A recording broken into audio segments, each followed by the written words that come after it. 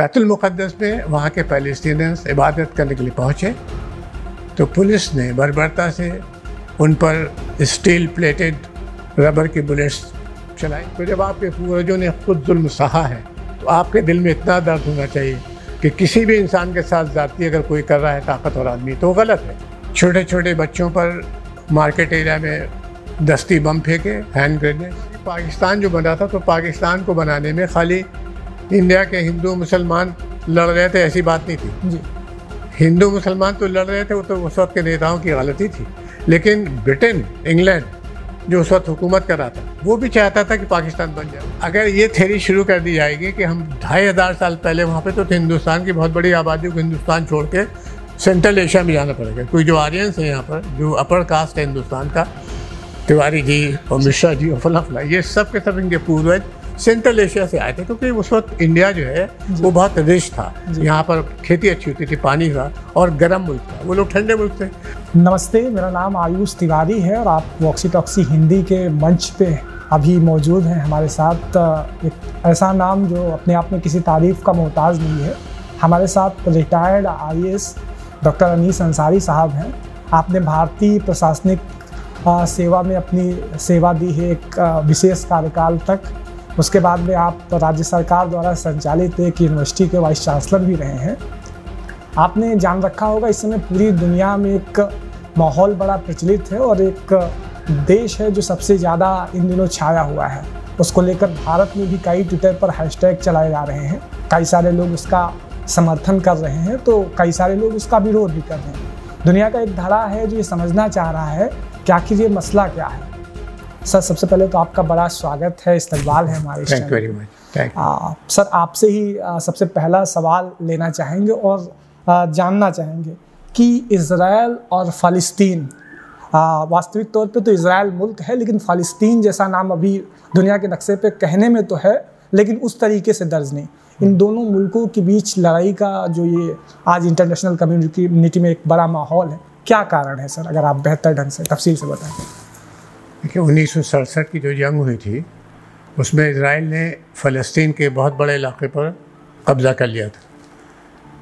United nation general assembly के जो resolutions हैं बहुत से उनमें साफ़ तरीके से कहा गया कि जंग के ज़रिए एग्रेशन के ज़रिए जो आपने किसी भी इलाके को हथियाया हो वो आपकी लीगल प्रॉपर्टी नहीं होती है। उसके जब सेटलमेंट होगा यानी अमन का जो माहा होगा तो आपको वापस करना होगा।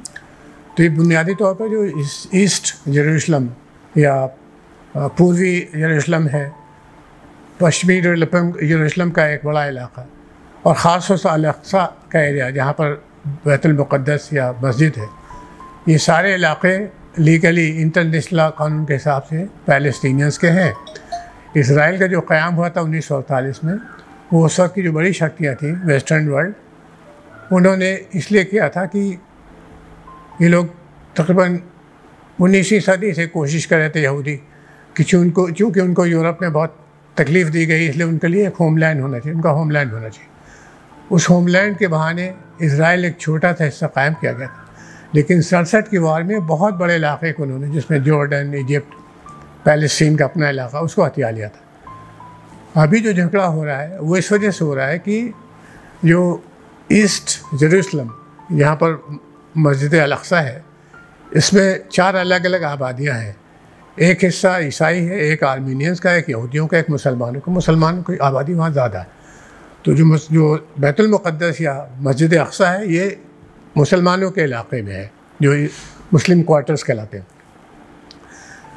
तो ये अभी जो रमज़ान के आखिरी दस दिन चलते हैं, ये बहुत ज़्यादा पाक समझे जाते हैं मुसलमानों के लिए सारी दुनिया में। तो उस दिन लोग इबादत करने के लिए मस्जिद में जाते हैं। बैतुलमुक़दस में वहाँ के पैलेस्टीनियंस इबादत करने के लिए पहुँचे। तो पुलिस ने बर्बरता से उन पर स्टील प्लेटेड रबर की बुलेट्स चलाई। छोटे छोटे बच्चों पर मार्केट एरिया में दस्ती बम फेंके, हैंड ग्रेनेड्स। मस्जिद के अंदर घुस गए।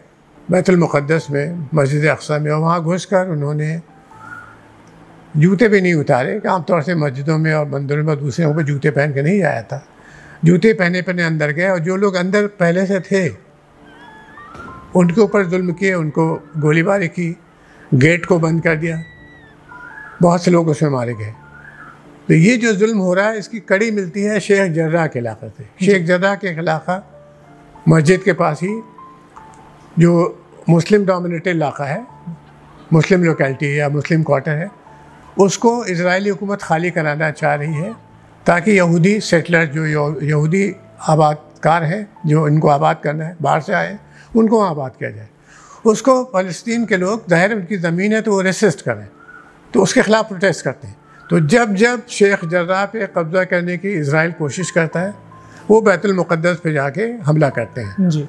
ये एक तरीक़े का एक फिरौती टाइप का केस कर लिया है। ये कर लिया है वहाँ के पैलेस्टीनियंस को बता दिया है कि अगर या तो आप चुप रहिए अपनी ज़मीनें चुपचाप यहूदियों को दे दीजिए।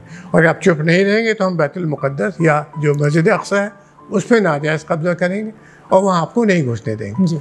ये किसी भी खुद इसराइल के कानून के हिसाब से गलत है क्योंकि बेकसूर आदमी के देखिए बंदूकें आपके जो लोहे के बैटन्स हैं स्टील के बैटन्स और जो भी हथियार हैं वो तो फ़लस्तीन के पास नहीं है फ़लस्तीन के पास, वो तो खाली मस्जिद में नमाज़ पढ़ने गए थे। तो ये क्लैश भी नहीं है। क्लैश इसलिए नहीं है क्योंकि क्लैश तो उस वक्त होता है जब दो पार्टियाँ आपस में लड़े। यहाँ तो लोग सीधे से नमाज़ पढ़ने गए और आपने जाकर पे अटैक कर दिया। ये बुनियादी तौर तो पर एक जुल्म की कहानी है। इसको ख़त्म किया जाना चाहिए। बदकस्मती से हमारे मुल्क से जितनी सख्त आवाज़ उठना चाहिए था, वो नहीं उठ रही है।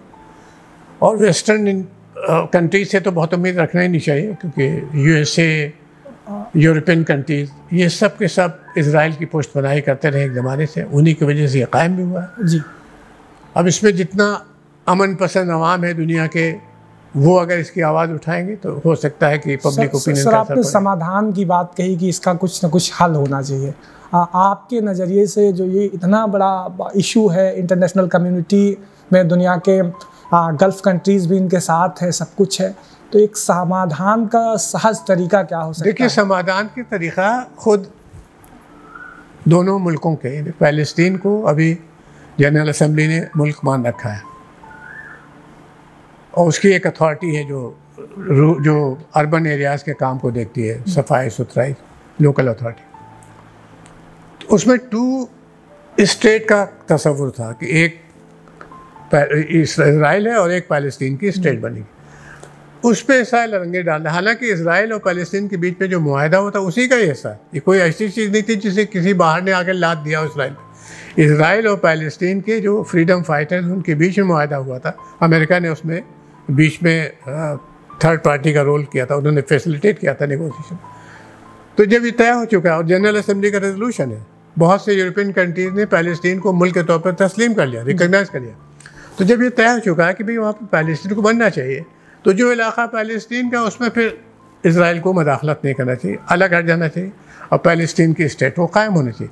वो एक वाद हल है, जब तक ये नहीं होगा, खून खराबा होता रहेगा, सारी दुनिया में बेचैनी रहेगी, और इसराइल पर अगर चेक नहीं लगाया जाएगा तो वो अपनी जो एग्रेशन है उसको और बढ़ाते रहेंगे आ, सर आपने अमेरिका का ज़िक्र किया अभी तो अमेरिका कहीं ना कहीं हमेशा से कहा जाता रहा है कि एक ऐसा निहात मुल्क रहा है जो सबकी मदद तो करता है लेकिन अपने स्वार्थ के लिए हम्म। तो उसने अभी मतलब अगर उसको शांति प्रियता इतनी पसंद होती तो वो अपना जो वो क्या कहते हैं विदेशी कार्यालय है वो यरूशलेम में ना स्थापित करता। तो कहीं ना कहीं ये भी अमेरिका का एक तरफ़ से साफ़ तौर पे कहना कि वो इसराइल का साथ दे रहा है क्योंकि उसने जो अपना विदेश का वो होता दफ्तर तो वो यरूशलेम में स्थापित कर दिया। इस पर अगर थोड़ा सा अमेरिका बहुत शुरू से और यूरोप के कई मुल्क जिसमें फ्रांस इंग्लैंड जर्मनी बड़े बड़े मुल्क हैं ये सब शामिल हैं इस साजिश में।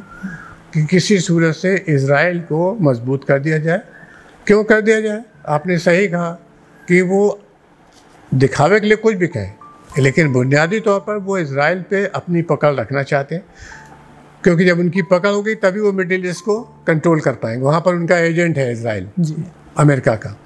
आपको याद होगा कि पाकिस्तान जो बना था तो पाकिस्तान को बनाने में खाली इंडिया के हिंदू मुसलमान लड़ रहे थे ऐसी बात नहीं थी। जी। हिंदू मुसलमान तो लड़ रहे थे, वो तो उस वक्त के नेताओं की गलती थी। लेकिन ब्रिटेन, इंग्लैंड, जो उस वक्त हुकूमत कर रहा था, वो भी चाहता था कि पाकिस्तान बन जाए। उनकी बाकायदा उनके प्राइम मिनिस्टर अदा की जो ख़त किताबत हुई, एटली थे उस वक्त, और रूजवेल्ट थे प्रेसिडेंट अमेरिका के, उनके बीच में प्राइम मिनिस्टर ब्रिटेन और यूनाइटेड स्टेट्स के जो वो थे प्रेसिडेंट, उनके बीच में जो ख़त किताबा हुई उन्नीस सौ पैंतालीस छियालीस में, उसमें वो कह रहे हैं कि पाकिस्तान को अगर बना लिया जाएगा तो हमें मिडिल ईस्ट के रिसोर्स पर कब्ज़ा करने में और इस्लाम से लड़ाई करने में आसानी होगी। तो ये ममालिक जो इसराइल को, पाकिस्तान को शुरू से सपोर्ट करते रहे, वो इसलिए नहीं है कि कोई हिंदुस्तान का भला चाहते हैं या अरब का भला चाहते हैं। वो बुनियादी तौर पर अपना भला चाहते हैं। मिडिल ईस्ट बहुत ज़्यादा उसके ज़ख़ीरे बहुत हैं वहाँ पर। यानी अफ़गानिस्तान में यूरेनियम की दुनिया के सबसे ज़्यादा ज़ख़ीरे हैं। पूरी मिडिल ईस्ट में जो फॉसिल फॉइल्स हैं, पेट्रोल और क्रूड, ये ये सब भरे पड़े तो पानी है इराक़ के इलाके में फला जगह बड़ी बड़ी नदियाँ हैं नाइल यूफ्रेट। तो इन पे कंट्रोल करना चाहते अब इस पे कंट्रोल के लिए उनको कोई एजेंट चाहिए पिट्ठू चाहिए वो एजेंट उन्होंने वहाँ पर इसराइल को बना रखा साधनों और संसाधनों के लिए सब कुछ हो रहा है। झगड़ा ये है कि इन इलाकों के जो रिसोर्सेज हैं वो कंट्रोल में रहे यूरोप के और अमेरिका के। पाकिस्तान के साथ भी वो यही खेल खेलते हैं। पाकिस्तान के बारे में चाहे इतना उल्टी सीधी बातें पब्लिक में कहें लेकिन अंदर अंदर वो पाकिस्तान को इसलिए शायद देते हैं कि पाकिस्तान को शायद देंगे तो वो इंडिया को चाइना को और रूस को और ईरान को इस पर थोड़ा सा कंट्रोल बना करें। तो जो गेम ये लोग अब पाकिस्तान में खेलते हैं वो इसराइल में खेले हिंदुस्तान की जनता को ये समझना चाहिए। ख़ासतौर से आज की जो हुकूमत है जी। इनको थोड़ा समझने की ज़रूरत है कि अमेरिका और वेस्टर्न पावर्स जो जुल्म कर रहे हैं इसराइल के ज़रिए फ़लस्तीनियंस पे वो सही नहीं है। आज उनके साथ हो रहा है कल खुदा खास्ता हमारे साथ भी हो सकता मान लिया कि एक तरफ़ कि ये सियासत की बात है इसको सियासत की वजह से इतना सब कुछ किया जा रहा है। हाँ लेकिन एक तरफ़ ये बात सुनने में आती है यहूदी जो दुनिया का सबसे पुराना धर्म है सबसे पुराना रिलीजियस है तो ये जेरूसलम जो एक पवित्र जगह है हॉली जगह है तो इस जगह पे दुनिया के तीन तीन धर्म अपना दावा करते हैं। तो आपके हिसाब से यहाँ पर वास्तविक तौर पे जो क्रिश्चियंस कहते हैं कि भाई यहाँ पे ईसा मसीह का जन्म हुआ यहीं पे उनको सूली पे चढ़ाया गया। तो वहीं पर यहूदी इसको लेकर कुछ और विचार रखते हैं कि नहीं हमारी ये सबसे पवित्र जगह है। तो मुस्लिम्स में ये धारणा है कि जो हमारे यहाँ तीन सबसे प्रमुख स्थान है एक तो मक्का और दूसरा मदीना और तीसरा ये जहाँ से मोहम्मद साहब जन्नत की ओर गए हुए थे। हम्म। तो वास्तविक तौर पे यहाँ पे किसका दावा होना चाहिए अगर आपसे हम समझें। देखिए 2000 साल पहले 2000 साल तक तो यहूदियों का को कोई कंट्रोल नहीं था। उन्नीस सौ अड़तालीस में पहली बार इसराइल बनाया तब कंट्रोल हुआ। 2000 साल तक पूरे फ़लस्तीन के इलाके में वहाँ के फ़लस्तीनियों का कंट्रोल था। अगर ये थेरी शुरू कर दी जाएगी कि हम ढाई हज़ार साल पहले वहाँ पे तो हिंदुस्तान की बहुत बड़ी आबादी को हिंदुस्तान छोड़ के सेंट्रल एशिया में जाना पड़ेगा। कोई जो आर्यंस हैं यहाँ पर जो अपर कास्ट है हिंदुस्तान का तिवारी जी और मिश्रा जी और फला फला ये सब के सब इनके पूर्वज सेंट्रल एशिया से आए थे क्योंकि उस वक्त इंडिया जो है वो बहुत रिच था। यहाँ पर खेती अच्छी होती थी पानी था और गर्म मुल्क था वो लोग ठंडे मुल्क थे। तो अगर इस थेरी को पकड़ा जाएगा कि जो लोग ढाई हज़ार साल पहले काबिज थे उनको वापस दे दिया तो हम पूरे हिंदुस्तान को खाली कर सारे मुल्कों में यही हालत होगी। इंग्लैंड में खाली करना पड़ेगा। इंग्लैंड के वहाँ के मूल निवासी थोड़ी ये मूल निवासी की थेरी बिल्कुल गलत है। कम से कम सलाउद्दीन अयूबी ने जब थर्ड क्रूसेट को हराया था, तीसरा जो हमला किया था यूरोप ने, बारहवीं सदी, ग्यारहवीं सदी में, उस वक्त से तो बराबर फ़लस्तीनियों का कब्ज़ा है वहाँ। और वहाँ पर तीन धर्मों की बड़ी पूजनीय स्थल है बैतुलमुक़दस या मस्जिद अक्सा, जहाँ से मुसलमानों का क़ीदा है कि रसुल्ला मक्के से वहाँ गए, और वहाँ से फिर आसमान में गए और खुदा से उन्होंने मुलाकात की। तो इसलिए वो पूज नहीं समझा जाता बल्कि काबे से पहले मक्के से पहले मुसलमान रसुल्ला के ज़माने में यरूशलेम की तरफ़ बैतुलमुक़दस की तरफ़ मुँह करके नमाज़ पढ़ते थे। वो बाद में तब्दील हाँ, हुआ। मैंने पढ़ा हुआ जी। और ईसाइयों का वहाँ पर मुतबरक मुकाम है चर्च ऑफ़ नेटिविटी जहाँ के बारे में ये सब लोग जानते हैं। हज़रत ईसा की पैदाइश हुई थी वहीं ऊपर पड़े थे। तो हज़रत ईसा और उनके जो मानने वाले हैं ईसाई उनके लिए भी वो पूजनी जगह है। और यहूदियों के लिए भी पूजनी है। क्योंकि हज़रत दाऊद अलैहिस्सलाम के ज़माने में उनका वो दारुलखलाफा या कैपिटल रहा है। जी। और उनकी एक वॉल ऑफ़ वेलिंग एक दीवार गिरिया बिल्कुल बैतल मुकदस से जुड़ी हुई हाँ, जहाँ वो जाके रोते हैं और पूजा करते हैं। तो उसका तो इंतज़ाम बहुत आसानी से किया जा सकता है। झगड़ा उसका नहीं है। अभी तीन जगह मुकदस हैं सबको आप मौका दीजिए। अब अभी जो इसराइल ने कब्ज़ा कर रखा है मस्जिद के ऊपर तो खाली मस्जिद पे कब्ज़ा नहीं किया वहाँ पर जो ईसाई आबादी है उसको भी वहाँ जाने नहीं देते। जब तक आप परमिट न लें तो चर्च ऑफ़ नेटिविटी में नहीं जा सकते। ईसाई भी नहीं जा सकते। तो ये जो सख्ती कर रखी है, ज़बरदस्ती की, ये जुल्म है, ये ह्यूमन राइट्स का, की खिलाफ वर्जी है। खुद इनके जो माहदे हुए हैं, दो स्टेट के, कि इसराइल और पैलेस्टीन की दो स्टेट होने, उसके माहदे और जनरल असम्बली के तमाम रेजोल्यूशन है दर्जों रेजोल्यूशन जहाँ इनको एग्रेसर कहा गया है इसराइल को।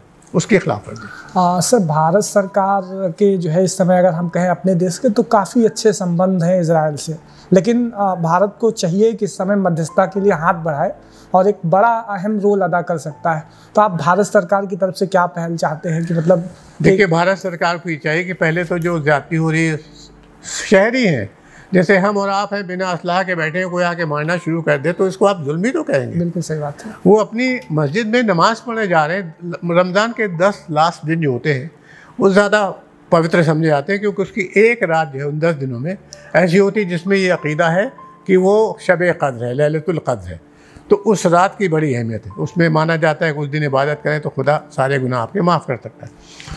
तो अब इबादत कोई कर रहा है?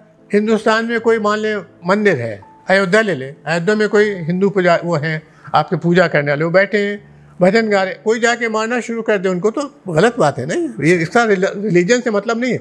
इसका तो सीधा सीधा इंसानों से ताल्लुक। कोई भी इंसान अगर खुदा से लॉ लगा रहा है, ईश्वर से लॉ लगा रहा है, उस पर पुलिस और फौज और ग्रेनेड, ये ये सब तो बिल्कुल सही जाती हिंदुस्तान को चाहिए बहुत कड़े शब्दों में इसराइल को वार्न करे, उनके एम्बेसडर को बुलाए, उनके प्राइम मिनिस्टर जो सर डामाडोल हैं उनसे कहे हमारे प्रधानमंत्री जी इस पर गौर करें उनको चाहिए कि इतनी बड़ी मुल्क है क्योंकि वो लोग हमसे बहुत ट्रेड में और बहुत सी चीज़ों में हमसे मिले जुले हैं।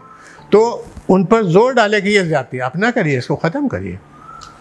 टू नेशन थेवरी जो आ, आप भी कह रहे हैं और दुनिया की भी एक बड़ी मांग है कि होनी चाहिए तो मे भी अगर ये टू नेशन थेवरी को आप कैसे देखते हैं टू स्टेट। हाँ वही मतलब वहाँ नेशन कहना इसलिए गलत है कि इसराइल में बहुत से फलस्तीन शहरी हैं। Okay. इसराइल जो इस वक्त बना है उसमें पैलेस्टीनियंस बहुत से शहर मिला जुला मुल्क है यहूदी ज़्यादा है लेकिन उसमें ईसाई भी रहते हैं पैलेस्टीन। तो वो लोग तो पैलेस्टीन का हिस्सा नहीं हो सकते चाहे वो मुसलमान हो। लेकिन पैलेस्टीनियन इलाके में बहुत से यहूदी भी रह रहे हैं ईसाई भी रह रहे हैं मुसलमान ज़्यादा रह रहे हैं आर्मीनियंस भी रह रहे हैं।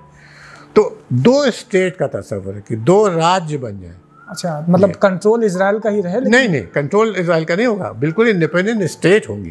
पैलेस्टीन का अलग रियासत बनेगी अलग राज्य बनेगा और इसराइल जो बनी हुई है वो बनेगा यानी पैलेस्टीन को एक अलग राज्य के तौर पर वहाँ कायम करने का माहदा हो चुका है इसराइल के साथ। ओके। ये सरकारें जो इसराइल की हैं ये उस माहदे के पाबंद होना चाहिए। मगर उसको ये खिलाफ वर्जी करते हैं क्योंकि वो हिंदी में एक कहावत है ना कि जिसकी लाठी उसकी भैंस। तो अभी लाठी उनके पास है इसलिए भैंस भी उनके पास है। लेकिन ये आने वाला वक्त का चक्कर है। कभी कभी बहुत ही छोटे से लोग जो हैं वो ऊपर आ जाते हैं और बड़े लोग सर के बल आ जाते हैं। ये इस तारीख ने बहुत देखा है।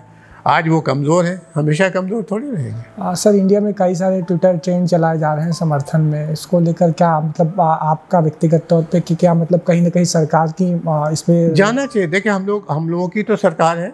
हम लोगों ने वोट दिया तो सरकार बनाई डेमोक्रेसी भी यही होता है। और हमने वोट न दिया हो तो भी सरकार हमारी प्राइम मिनिस्टर तो हमारे हैं चीफ मिनिस्टर तो हमारे। तो हमारा हक है हमारी ज़िम्मेदारी है कि हम इस चीज़ को उठाएँ और सरकार पर दबाव बनाएँ कि आप इस चीज़ को उठाइए।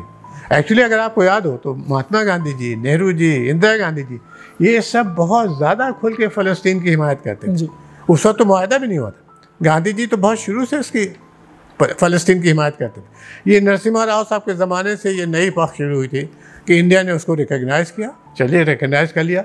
वो तो ये देखा जाता है रिकॉग्निशन में कि कोई स्टेट स्टेबल है कि नहीं, वहाँ उसका कंट्रोल है कि नहीं तो मान लिया, उसमें हम ज़्यादा कुछ नहीं कर सकते लेकिन पॉलिसी ऐसी बना लें जिसमें हम आँख बंद करके बैठ जाएँ और अपने अवाम पर वो जुल्म करें। मान लें कि फ़लस्तीन नहीं है ओके वो सब इसराइल के सिटीजन यही मान लें। आर्गूमेंट के लिए तो अगर इसराइल के सिटीजन भी हैं तो आज हमारे प्राइम मिनिस्टर मोदी जी हम यहाँ के शहरी अगर आके गोली बारूद लगा के हमें मार दे तो ये जाती होगी ना। हम हिंदुस्तान के शहरी तो इसका ये मतलब थोड़ी कि हमें सरकार आके मार दे। इसी तरह इसराइल अगर मान लें वहाँ पर कंट्रोल में है तो उसको मारना शुरू करें बेखसूर डिवोटीज़ को जो नमाज़ पढ़ें। वो तो खिलाफ वर्जी है जुल्म है नाइंसाफ़ी। आ, सर एक मुल्क जो 1948 में अस्तित्व में आता है आ, उसको स्वतंत्र होता है लेकिन इतना मतलब आपको नहीं लगता कि दुनिया के कई सारे मुल्क जबकि उसके ऊपर कई गल्फ कंट्रीज़ वगैरह वगैरह ने मतलब कब्जा करने के लिए कई हमले भी हुए उस पर लेकिन फिर भी वो इतना ताकतवर होता है कि उन्नीस सौ सड़सठ की जंग जो होती है उसमें वो गाज़ा पट्टी और भी कई सारे हिस्सों को अपने उसमें ले लेता है। तो कहीं ना कहीं ये कहाँ से इसमें इतनी इसका जो तारीख ये बताती है कि कोई भी मुल्क जब हारता है जंग उसके पीछे बहुत से फैक्टर्स होते हैं लेकिन एक बड़ा फैक्टर ये होता है कि जो जीतने वाला मुल्क उसकी टेक्नोलॉजी मज़बूत होती है अपडेटेड होती इसराइल की टेक्नोलॉजी पड़ोस के जो फ़लस्तीन या दूसरे फ़लस्तीन तो कई जनरेशन से बेचारे उन्नीस सौ अड़तालीस से तो कैंपों में रह के पढ़ाई कर रहे हैं। वो जो निकल जाते हैं वहाँ से दूसरे मुल्कों में वहाँ पढ़ाई करते हैं। लेकिन जो आसपास के मुल्क हैं रिच मुल्क इराक़ था सद्दाम के ज़माने में। आपका सऊदी अरब जॉर्डन बिल्कुल मिला हुआ मुल्क इनके टेक्नोलॉजी उतना बढ़ावा नहीं दिया गया। आज भी पूरे मिडिल ईस्ट में मेरे ख्याल पचास बावन के करीब मुल्क है पूरा जहाँ पर मुस्लिम आबादी ज़्यादा उनमें ऐसी यूनिवर्सिटियाँ नहीं बनाई गई ऐसी लेबोरेटरीज नहीं बनाई जहाँ बाहर से लोग आके पढ़ें। जब वो मुल्क अपने आवाम की पढ़ाई के लिए टेक्नोलॉजी के फ़रोग के लिए काम करेंगे तब वो ताकतवर बनेंगे। एजुकेशन हिंदुस्तान भी जब 1526 में बाबर ने हरा दिया था इब्राहिम लोदी को। तो इसलिए नहीं हरा दिया था कि इब्राहिम लोदी को वो बाबर जो बहुत बड़े ताकतवर थे। बाबर ताकतवर थे लेकिन इब्राहिम लोदी की कमज़ोरी ये थी कि इनके पास बंदूकें नहीं थी। जी। ये तलवार और तीर से लड़ने वाली फौज थी। तो राना सांगा के कहने पर बाबर आए। और इब्राहिम लोदी के पास फौजें जो थी सब तीर तलवार वाले उनके पास बंदूक थी बारूद थी तो उन्होंने जीत लिया। तो ये कोई अनहोनी बात नहीं है। बहुत से मुल्कों में ऐसा है कि अगर टेक्नोलॉजी आपकी मज़बूत है तो आप लड़ सकते हैं। तो अरब वर्ल्ड को चाहिए कि अच्छी यूनिवर्सिटियाँ कायम करें, इतनी पढ़ाई करें। अब उनके जो शहजादे वगैरह हैं, सऊदी अरब के, वो तो सब चले जाते हैं बाहर पढ़ने। खाली ईरान एक मुल्क है जो अच्छा काम कर रहा है तालीम में।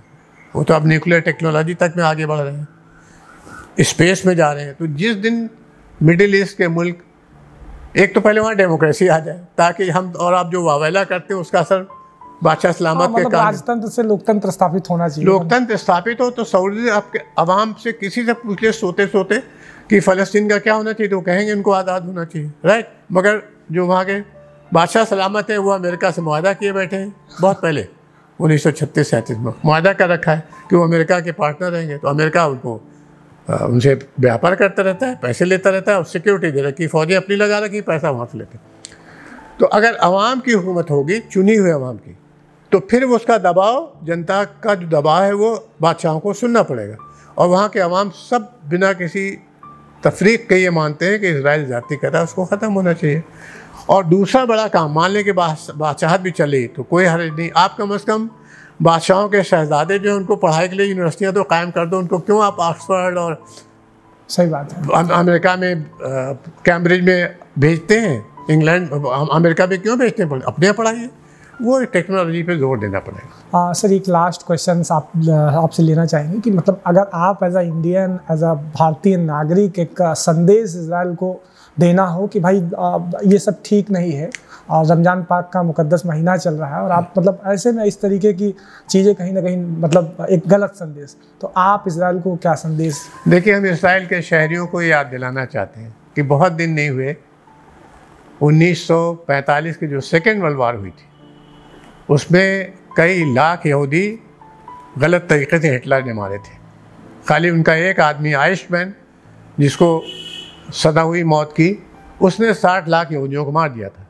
और उससे पहले 2000 साल तक वो पूरे यूरोप में जुल्म का शिकार है खाली मुसलमान इलाक़ों में, जैसे स्पेन था मुसलमानों का, या दूसरे इलाके हैं, उनमें उनको प्रोटेक्ट किया जाता था उनके मतलब बाकी यूरोप में हमेशा उनके साथ जुल्म हुआ। तो जब आपके पूर्वजों ने खुद जुल्म सहा है तो आपके दिल में इतना दर्द होना चाहिए कि किसी भी इंसान के साथ जाती अगर कोई कर रहा है ताकतवर आदमी तो गलत है। तो आप देख रहे हैं अपनी खुली आँखों से कि आपकी सरकार इसराइल में ज़बरदस्ती गुंडागर्दी कर रही है, एग्रेशन कर रही हो और निहत्ते सिटीजन, आप फौजों में लड़ जाते यासिर अफवाह से लड़ जाते, या महमूद से लड़ जाते तो मुझे कोई तकलीफ़ नहीं होती, लड़ रहे हैं, ठीक है हमाद से लड़िए आप। लेकिन आप जो लोग मस्जिद में नमाज़ पढ़ने जा रहे हैं, अल्लाह अल्लाह कह रहे हैं, आप उनसे लड़ रहे हैं तो कौन सी बड़ी बहादुरी दिखा रहे हैं? ये बड़े अव्वल दर्जे की गुमराही भी है और मुझे लगता है कि बुजदिली भी। तो आप अपनी हुकूमत को पैगाम दीजिए इसराइल के शहरी की हैसियत से कि ह्यूमन राइट्स का वायलेशन चाहे कोई करे, चाहे इसराइल करे, चाहे कोई करे, वो नहीं होना चाहिए। मैं आपको ये भी याद दिला दूँ कि आइंस्टीन जैसा साइंटिस्ट जिसको पहला प्रेसिडेंट बनने की ऑफ़र दी गई थी इसराइल की, उसने मना कर दिया था। वो यहूदी थे। लेकिन उन्होंने इसलिए मना कर दिया तो वो कह रहे थे कि इसराइल जो कायम किया गया है, वो अरब की ज़मीन पर नाजायज़ तरीके से कायम किया गया, इसलिए वहाँ के प्रेसिडेंट नहीं बनेंगे। तो जब आपका इतना सबसे चमकता हुआ सितारा दुनिया में आइंस्टीन, उसने कहा कि नाजायज़ तरीके से इसराइल बना है तो अब कम अज़ कम आप नाजायज़ तरीके से वहाँ के शहरीों पर, यरूशलेम के शहरीों पर तो जुल्म न करने दीजिए अपनी सरकार से। आ, बहुत शुक्रिया सर आपका कि आपने तफसील से बताया हमको कि वास्तव में इसराइल और फ़लस्तीन के बीच ये जो इस समय गलत फहमियाँ पैदा हुई हैं तो क्यों पैदा पैदा हुई हैं और इनको बेहतर कैसे किया जा सकता है? वैसे तो ये एक बड़ा इशू है कि इस पर अगर हम काफ़ी घंटे भी दें तो उतना बातचीत नहीं हो पाएगी लेकिन फिर भी आपका बड़ा शुक्रिया हमारे शुक्रिया।